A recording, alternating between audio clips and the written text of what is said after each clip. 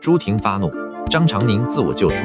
中国女排三比一击败荷兰豪取九连胜，目前女排已经八连胜，只要拿下两场三零的比赛胜利，中国队就能完成卫冕，获得世界杯的第五冠，超越古巴独占鳌头。今天的对手是荷兰女排，双方仅在一九九五年的世界杯上交手过一次，当时郎平率中国女排三至零力克对手，而如今的铁榔头则有队员变成了主帅，不得不感叹时间过得真快。第二局龚翔宇的进攻很强势。但女排在拦网端就没有上局那么逆天了。张常宁发球也失误，朱婷轻吊得手。女排八指七，朱婷攻防无处不在。张常宁的探头加打手出界，女排十六指十四。回来张常宁在攻防两端依旧给力，真是完成自我救赎了。二十一至十五。